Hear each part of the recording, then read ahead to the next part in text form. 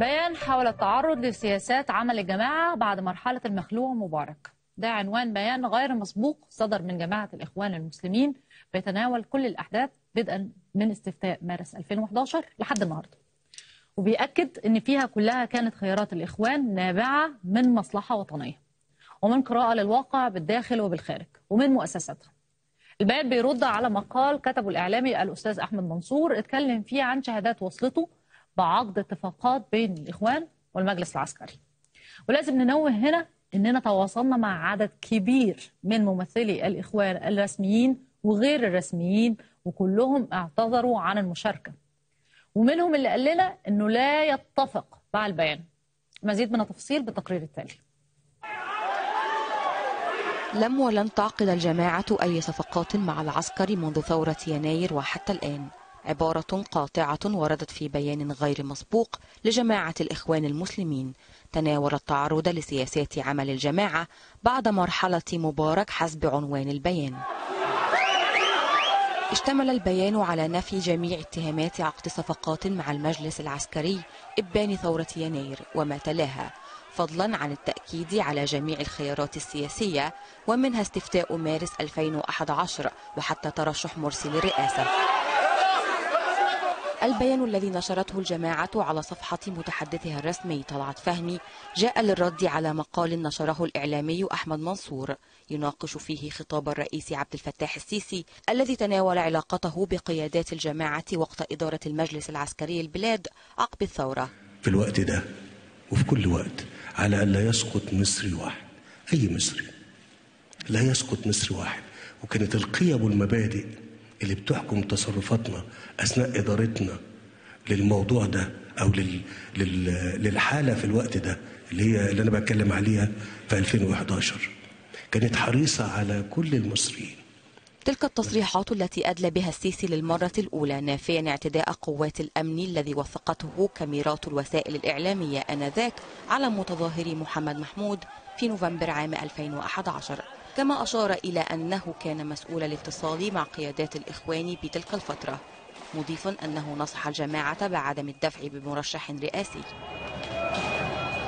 وأكد أحمد منصور تواصل الجماعة مع السيسي وقتها بناء على شهادات قال إنها وصلت إليه متهما الإخوان بعقد اتفاقات مع قادة المجلس العسكري تضمنت انسحابهم من التظاهرات. بيان المتحدث الإعلامي للإخوان نفى ذلك تماما وأكد أن كل خيار سياسي كان يهدف إلى تحجيم دور المجلس العسكري وحماية الثورة ومنع إزهاق أرواح المصريين بحسب البيان. كما ختمت الجماعة بيانها بالتأكيد أنها تابعت التواصل مع القوى الوطنية وأن سياستها تمت برؤية معتمدة من مؤسساتها بناء على إدراك للواقع الداخلي والخارجي. أثار البيان ردود أفعال واسعة. أعادت إشعال خلافات الماضي والحاضر. وبعد قرابة ثمانية سنوات على تلك الأحداث فقد المصريون من فقدوا وفقد الوطن ما فقد. وما زالت جميع قوى المعارضة المصرية لا تملك إجابات عن أسئلة الماضي فضلا عن المستقبل. ينضم إلينا من الدوحة ياسر الهواري عضو مؤسس بحزب الدستور. أهلا بيك معايا ياسر ويعني في رأيك إيه الدوافع اللي تخلي جماعة الإخوان تصدر بيان زي كده؟ يعني ما شفناهوش قبل كده غير مسبوق. إيه الدوافع اللي خلتها تعمل حاجة زي كده؟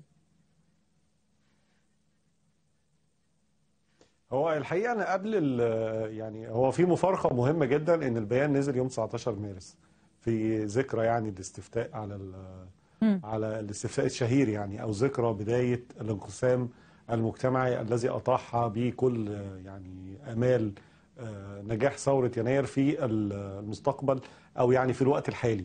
أنا طبعا طول الوقت أنا عندي إيمان تام يعني إنه ثورة يناير هتحقق أهدافها يعني لا محالة يعني.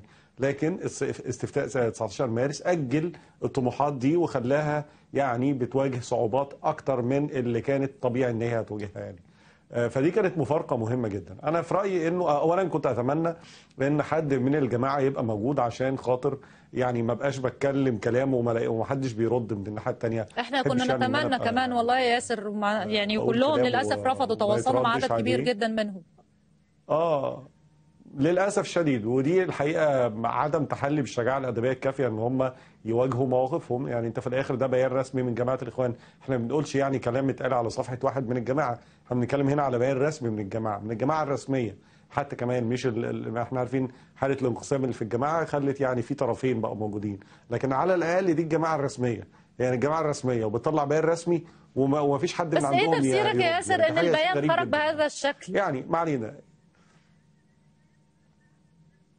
أنا أنا أنا تقديري للمو... للموضوع إنه اولا جماعة الإخوان جماعة لا تتحلى ابدا بشجاعة الاعتراف بالخطأ يعني هم عندهم طول الوقت استكبار وعندهم طول الوقت تشبث بمواقفهم والبيان الحقيقة بيقول. بوضوح تام يعني يا جماعة إحنا ما غلطناش إحنا ما عملناش حاجة غلط أنتوا و- وكأن يعني على الحقيقة أنا حتى كان تعليقي على المسألة إنه يا جماعة استنوا 100 سنة كمان قولوا الكلام ده نكون إحنا متنا يعني نكون إحنا متنا وعيالنا ماتوا لأن إحنا هنحكي لعيالنا اللي حصل. فأنت بتنفي الأشياء اللي عشناها بشخصنا يعني مثلا لما يجي يقول إيه والجماعة ما تحالفتش مع العساكر ابدا ولم تتفق ابدا. و... طيب هو في قرينة مهمة جدا بتقول إن الإخوان. يعني تحالفوا مع المجلس العسكري بعد ثورة يناير. آه اللي هي وثائق ويكيليكس. بس أنا مش حتى هتطرق لوثائق ويكيليكس. أنا هقول إن الاتفاق المبدئي أو الاتفاق الضمني بي بي بيبقى نتيجته بتبان على الأرض. فأول نتائج الاتفاق هو الاتفاق على تمرير استفتاء مارس.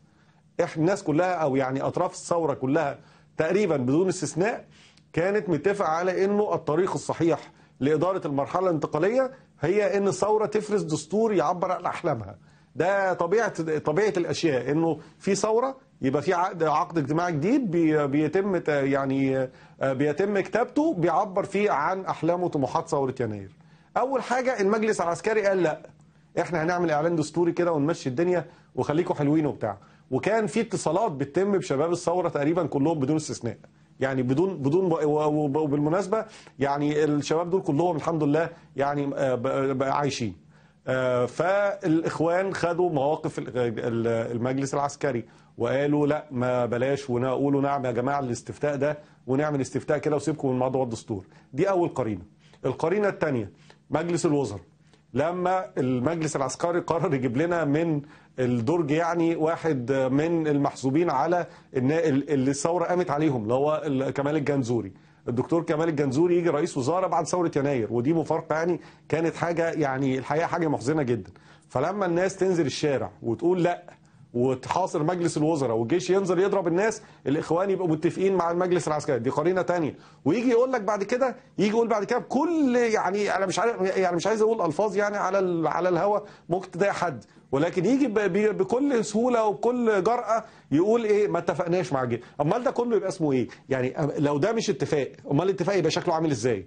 أنا مش هقول ان وثائق ويكيليكس اتكلمت على ان المجلس العسكري ادى معلومات وتمويل لجماعة الاخوان علشان تبقى فيها يدي ميزة تنافسيه ليه؟ وده موجود في وثائق ويكيليكس أنا مش بقول كلام من عندي. أنا لما أنا مش طرف يعني طب يا ياسر خليني طب خليني انقل لك صوت تاني يا ياسر. إنه المجلس العسكري كل معلومات للإخوان عشان يبقى عندهم ميزة تنافسيه كل الناس اتفضل. اللي إحنا بنحكي عليهم واللي إحنا بنحكي إن هم تواصلوا مع المجلس العسكري موجودين في السجن فمش عارفين يردوا آه، هل ينفوا حتى ده حصل فعلا ولا يأكدوه وكمان على الجانب الآخر بيقولوا ان القوى السياسيه وشباب الثورة نفسه قعد مع المجلس العسكري فإيه المشكلة؟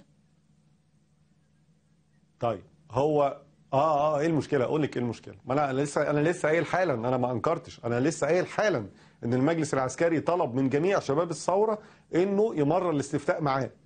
مين بقى اللي قال نعم للاستفتاء من شباب الثورة؟ أنا هنا خلي بالك أنا هنا أنا أنا بتكلم بوضوح. إنه الطرف الوحيد اللي محسوب على ثورة يناير وقال نعم للاستفتاء هم جماعة الإخوان المسلمين. غير كده كل الأطراف اللي كانت آه، جزء من ثورة من ثورة يناير آه، قالت لا. يعني أنا قلت إن دي قرينة قرينة على اتفاق على إن هناك اتفاق ما ما بين المجلس العسكري وجماعة الإخوان المسلمين. طيب آه، جماعة ال- المندوبين بتاع الإخوان في في ائتلاف شباب الثورة أنا كنت بتشرف أنا واحد منه. المندوبين بتوع ال- الائتلاف إسلام آه، الأستاذ إسلام لطفي الأستاذ محمد القصاص الأستاذ محمد عباس الأستاذ معاذ عبد الكريم وكذا غيرهم يعني تم فصلهم من جماعة الإخوان بشكل رسمي. لاختلافهم في السياسة مع الجماعة ونزولهم على أغلبية أعضاء الائتلاف زمايلهم. يعني لما الائتلاف يقعد ويقرر قرار ويطلع القرار ده مش عاجب جماعة الإخوان المسلمين فتطلع جماعة الإخوان تقول ليس لنا وأنا بقول كلام برضو معلن. أنا ما بقولش كلام يعني سري أو مثلا حد ممكن يقول لا ده كلام معلن. إن الجماعه تقول ليس لنا ليس لدينا أعضاء في ائتلاف شباب الثوره فصلوا فصلوا الشباب خالص. يعني أنتوا هنا البيان يجي الباني يقول لك إيه؟ وانه الجماعة دعمت كل الحركات التي كانت تؤدي إلى إزالة السلطة العسكرية اللي هو المجلس العسكري. أمال حضرتك تصريحات جماعة الإخوان فيما يتعلق بمحمد محمود؟ اللي هي إحنا أنا مش عايز ارجع للايه للكلام. أنا أنا والله مش عارف هم ليه فعلا طلعوا البيان ده. يعني الحقيقة إن هم فكرونا بحاجات إحنا كنا طب- نتمنى طب إن إحنا نكون ياسر، في جزء لما من البيان اتكلم عن التواصل مع القوى السياسيه. الوطنيه ال- ال- في جزء من البيان اتكلم على التواصل مع ال- القوى السياسية الوطنية وقال واتهم القوى السياسية الوطنية هي اللي ما وافقتش على الحلول الوسط وهي اللي رفضت أي حلول وهي السبب في اللي إحنا وصلنا له. إيه رأيك؟ طيب هقول لك تعالي نقول ال ال ال يعني برضو أنا بصي شوفي أنا هفضل ماشي على أنا مش هتكلم على الكواليس خالص عشان الناس بس ما إيه ما تقولش إنه إحنا مش عرفنا إن الكلام ده حقيقي. أنا هقول الكلام المعلن اللي الناس كلها عارفاه. القوى السياسية دي اتفاق فيرمونت ده اتفاق معلن والناس كلها عارفاه والناس كلها فاكراه. اتفاق على إنه أول اتفاق على إنه الجمعية التأسيسية آه، يتم تنفيذ خلي بالك هنا من كلمة الإيه من اللفظ. يتم تنفيذ الاتفاق الاتفاق على تشكيل الجمعية التأسيسية اللي تم اللي كان في حضور الدكتور محمد مرسي والدكتور سعد الكتاتني كممثلين عن جماعة الإخوان في وقتها. اللي هو إيه بقى الاتفاق ده؟ اللي هو 50% تيار آه، إسلامي يعني تيار إسلامي اللي هم الإخوان والسلفيين. و50% بقى التيارات ال- ال- المدنية كاملة. اللي هم بقى مين؟ اللي هم ليبراليين ويساريين وقوميين وكل بقى الإيه؟ كل التيارات المدنية. دول ياخدوا 50% والإسلاميين ياخدوا يعني نصيب الأسد هنا هيفضل ف- لجماعة الإخوان. ومع ذلك جت جماعة الإخوان لما جت تشكل الجماعه التاسيسيه لغت الاتفاق ده خالص وابتدت تحط الأعضاء بتوعها من داخل الكتلة المدنية. يعني إيه بقى؟ يعني يجي مثلا يقول إيه؟ آه النقابات المهنية. النقابات المهنية تتحسب مع أعضاء الكتلة المدنية. طيب يا جماعة في حالة كانت بعد الثورة إنه الإسلاميين بيكسبوا الانتخابات. دي فوق راسنا أنا ما عنديش فيها مشكلة. طالما أنت كسبت انت- انتخابات أنا ما عنديش أزمة خالص يعني. فأنت على رأس النقابة إخواني. فبأي منطق بأي منطق يجي الإخواني ده يبقى محسوب على الكتلة المدنية. بأي منطق يعني. أنت ده فالنتيجة تبقى إنه أغلبية الجمعيه التاسيسيه بشكل بشكل قوي جدا في آه، بتصب في آه، صالح ال- ال- الجزء بتاع التيار الإسلامي. ويبقى الاتفاق على إنه والله المواد هتطلع بالتصويت. فلما المواد تطلع بالتصويت وأنت عندك الأغلبية أنا وجودي ملوش لازمة. فالناس انسحبت. فلما حصل اتفاق فيرمونت عشان أنا بوضح بس التاريخ يعني أنا بوضح حاجات أنا بوضح حاجات الناس يمكن بتختلط عليها الأمر لأن التدليس شديد بشكل منهجي. فيجي اتفاق فيرمونت فيقولوا هننفذ الإيه؟ إعادة تشكيل الجماعه التأسيسية. وهنجيب شخصية وطنية مستقلة آه، آه، يبقى رئيس الوزارة. دي كانت من ضمن الاتفاقات. ومستشارين بقى من الشباب ومش عارف إيه و و فيجي أول حاجة يعملها أول حاجة الدكتور مرسي بعد ما ينجح في الانتخابات إنه يجيب شخصية من المجهول اسمها الدكتور هشام أنديل مع احترامي الشديد ليه. أنا ما أعرفوش. يعني أنا الحقيقة قبل ما قبل ما يبقى رئيس وزراء ما حدش كان يعرفه. الاتفاق هنا خلي بالك إن هيجي شخصية وطنية مستقلة آه، أو يعني شخصية وطنية بيحصل عليها توافق ما بين الناس. ويبقى رئيس الوزراء عشان الدنيا إيه؟ رئيس الجمهورية وإحنا دعمناك عشان خاطر ما يبقى الثورة ما تقعش في الآخر في إيد شفيق يعني. ويبقى إيه؟ ويبقى ماشي. وننسى وننسى كل ال- اللي فات ده وننسى اللي أنت عملتوه وندي فرصة جديدة إن إحنا نبتدي على نضيف. فيجي يقوم جايب لنا رئيس وزراء ما حدش يعرفه خالص طب ياسر. خليني أقول لك على حاجة يعني أدي مثلا ال- الاتفاقات اللي بيقول لك خليني أقول. لك على الردود اللي؟ وصلتك أنت شخصيا وهي مش. بتصلك أنت فقط هو بتصل الحقيقة أنا- لقوى عديد من القوى المدنية في مصر إن دائما ما بي زي ما أنت ما رديت عليهم وأنا شفت ردودك على آه، على البيان بتاعهم كان الشباب بيردوا عليك وبيقولوا إحنا رافضين لبيان الإخوان ورافضين للمواقف الإخوان لكن القوى المدنية هي كمان ما بتراجعش تصرفاتها وهي كمان ما بتعترفش بأخطائها وهي اللي ارتمت في أحضان العسكر في 30 يونيو وشاركت في في اللي حصل ده كله حتى الآن. إيه رأيك على الكلام ده؟ طيب أنا هقول لك حاجة من ضمن الحاجات من من من, من ضمن الكذب الفاضح يعني إنه يقول لك إيه؟ القوى المدنية ما كانتش بترضى تقعد مع الدكتور مرسي. تعالوا نشوف الموضوع ده حصل ولا ما حصلش. الدكتور مرسي لغاية قبل الإعلان الدستوري اللي طلعه ب 48 ساعة قعد مع الآتي أسمائهم. قعد مع الدكتور البرادعي وقعد مع الأستاذ حمدين صباح وقعد مع الأستاذ عمرو موسى وقعد مع الأستاذ عبد المنعم أبو الفتوح. يعني تقريبا قعد مع الناس كلها وقعد معاهم وتعهد بتعهدات أهمها أهمها. وأنا أقول لك مثلا تعهد للدكتور البرادعي أهمها إعادة التوازن للجمعيه التاسيسيه للدستور عمل إيه بعدها ب 48 ساعة؟ حصن الجمعية التأسيسية؟ يعني هو قال للراجل اتفق معاه على إن هو هي هي هيعيد تشكيل الجمعية التأسيسية. بعدها ب 48 ساعة حصن الجمعية التأسيسية من الحل يعني اللي هو إيه إحنا طب خلاص هنطلع هناخد السلوك القانوني هنقدم للمحكمة الدستورية نقول لها يا جماعة الجمعية ديت التأسيسية دي تشكيلها باطل. ما نعمل إيه؟ ما هو يا ننزل مظاهرات يا نمشي مسلك قانوني أو نعمل الحاجتين وتبقى مظاهرات سلمية. نزلنا وعملنا ده و48 ساعة الراجل راح مطلع قرار قال أنا قراراتي غير طعنا للقبضه اللي طعن عليها. امام ما هي الاعلان الدستوري الشهير. وطلع بعد كده طبعا جماعة الإخوان يقول لك إيه دول نزلوا اعترضوا عشان شال النائب العام. ما حدش جاب سيرة النائب العام. هو يعني طيب آه أدي مثلا حاجة من الحاجات اللي بيتم اتهام القوى الوطنية فيها بالتعنت إنه ما حدش كان بيقعد. لا قعدنا والراجل بعدها. بعد ما قعدنا ب 48 ساعة عمل عكس اللي هو بيتفق عليه خالص. فأنا هقعد معاك ليه؟ فكان الكلام من القوى المدنية الكلام اللي هو إيه بقى؟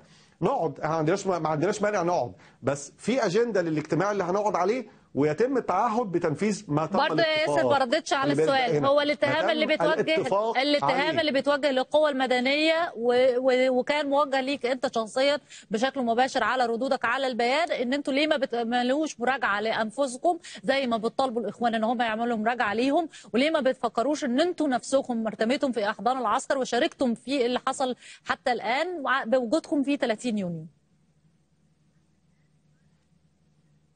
طيب أنا أنا اولا آه، مسألة الارتماء في أحضان العسكر دي فيها كلام كتير قوي اتقال يعني.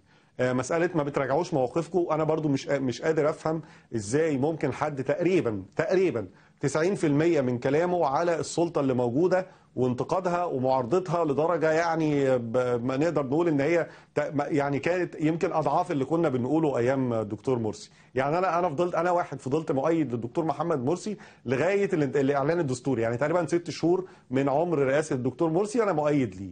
آه، أنا بعتقد يعني إنه القوى المدنية اللي اتخذت طواعيه وباختيارها موقف المعارض للسلطة الحالية اللي هي سلطة عبد الفتاح السيسي هو مراجعة فكرية وسي- وسياسية وتصويب للمواقف. وحتى لو كان الموقف ده بالمناسبة في أصلا كلام لأنه لازم يتحقق في سياقه التاريخي. يعني إيه ارتباء في احضان العسكر؟ أنا عايز أفهم فين في 30 6 اللي إحنا قلناه يتفهم من خلاله إنه والله إحنا عايزين الجيش يحكم.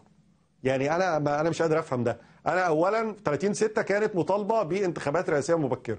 كان يقدر الدكتور محمد مرسي بسهولة جدا يجنب البلد كل اللي بيحصل لغاية اللحظة دي بإنه يطلع يقول يا جماعة أنا مستعد بالانتخابات مبكرة أو مش انتخابات مبكرة. أنا أقول لك حاجة أسهل من كده كمان. يا جماعة استفتاء عليا أنا شخصيا أبقى موجود أكمل رئاستي أو لأ بعد ست شهور.